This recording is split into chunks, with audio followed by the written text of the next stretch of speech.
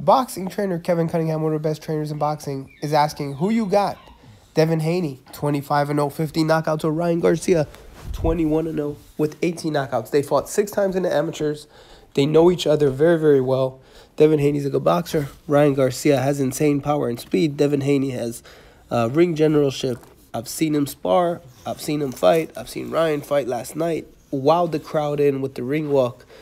And it was his crowd. They were there just for Ryan. And it was an exciting night of boxing. In the end, Ryan Garcia got the stoppage over Luke Campbell that has never been stopped.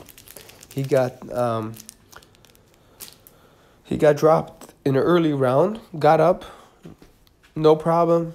His legs were there, his punches were there, and he fought back and won. Congratulations to Ryan Garcia for a very, very convincing performance. Showed that he could dig deep and that he really wants it. There was no quit in him. So, who wins the fight? Devin Haney, Ryan Garcia. Let me know what you guys think. I think it's a great fight.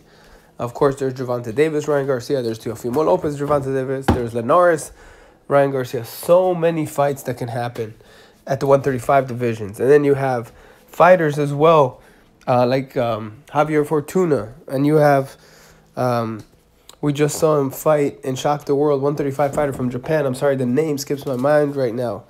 Uh, he fought Teofimo as well but he's in 135. And you have Hector Tanajara, and you have um, a lot, a lot of great fighters at 135. Ro- Rollies is at 135. So there's never a shortage of great fighters at 135. And there you have it. Stay tuned. For ESNewsReporting.com, I'm Ellie Seckbach reporting. And you can follow me on Twitter at Seckbach. You can follow me on Instagram at Ellie Seckbach.